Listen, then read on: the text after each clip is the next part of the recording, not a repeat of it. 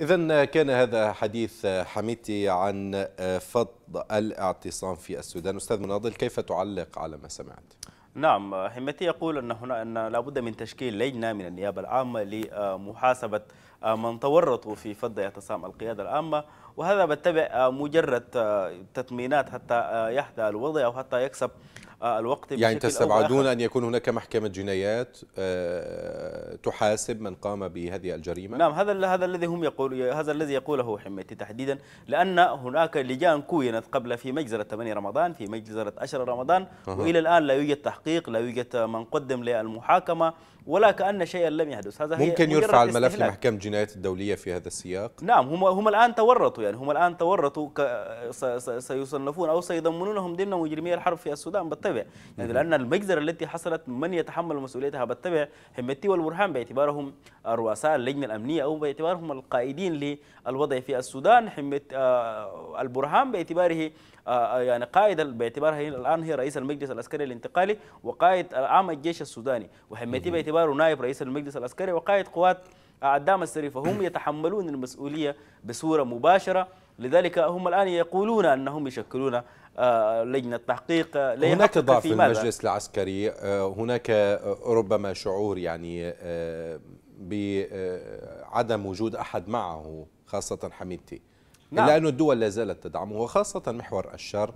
لماذا يدعموه؟ ما الذي آه، يريدوه من السودان؟ ولماذا حميدتي على وجه الخصوص؟ نعم آه، محور الشر بالتبع آه، يدعم كل نظام ديكتاتوري أو كل نظام شمولي حتى يبقى في الديكتاتورية. هم كما يسمون محور الشر هم أعداء للديمقراطيات في كل دول الربيع العربي وما تلاها من ثورات في معظم دول أخرى. حتى مؤثرين في الدول الأفريقية يحاولوا يدعموا الاتجاهات المضادة حتى يصبح أفريقيا أو يصبح الدول العربية وثورة الربيع العربي يعني محل محل نزاع مسلح محل يكون هناك ليس أن لا يكون هناك استقرار بشكل أو بآخر. أما خصوصية السودان لمشاركة جيش السودان في اليمن أو قوات الدعم السريع. في اليمن هذا ربما النقطة المحورية التي آه، لابد أن الذي يظل آه، المحور الشر آه، يدعم هذا الجيش السوداني لأن يعلمون تماما إذا جاءت حكومة مدنية في السودان في في في هذه الأيام تحديدا بالتالي ستلغي كل الاتفاقيات الموقعة سيرجع جيش السودان من اليمن. ويعلمون يعني محور الشر أن جيش السودان هو الذي الآن في الصفوف الأمامية هم يتخذونه كجدار الآن. آه، يعني بقية الجيوش لم تحارب بقية الجيوش لم تتقدم الجيوش السودانية هي التي آه، في في في في المقدمة في الأمام باعتبار أنهم ليس لديهم قيمة بأنهم باعتبار أنهم يعني آه، يشترونهم بالمال كالرقيق الآن.